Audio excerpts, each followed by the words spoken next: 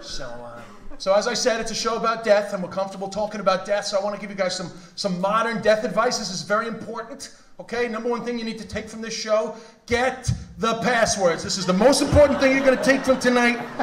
You know, get them before it's too late. Because if you don't have them and they're gone, you have no idea the heartache, the hold calls, the infrastructure, the emails, the stuff that you will have to deal with trying to get your parents' money. So get the passwords.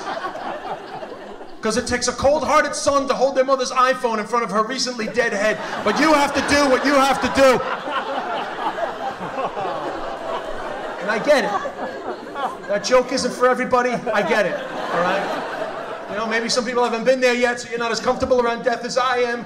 But I don't mind because that's a joke in five or six years' time. Even if you're not laughing now, you're going to be like, thank fuck we were at the Des Bishop show. Oh my God. you know, because there will be a time when it's too late, you know? And